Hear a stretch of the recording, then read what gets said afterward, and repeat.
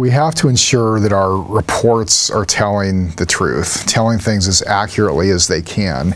I did some work for a utility one time, and, and the first day I was there, I wandered around and just talked to different ones and observed what was happening.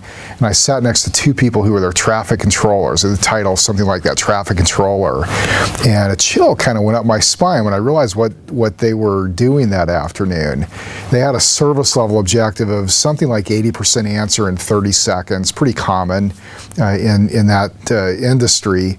And if their queue got backed up, calls that missed that threshold, they would essentially take them electronically and put them out in a, a, holding pattern.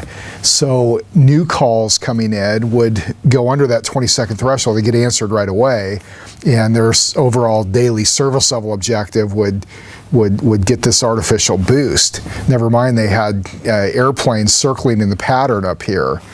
Uh, not a good idea for customers, but not a good idea for us internally uh, for, for any reason because we don't have reports that are telling us what what's actually happening.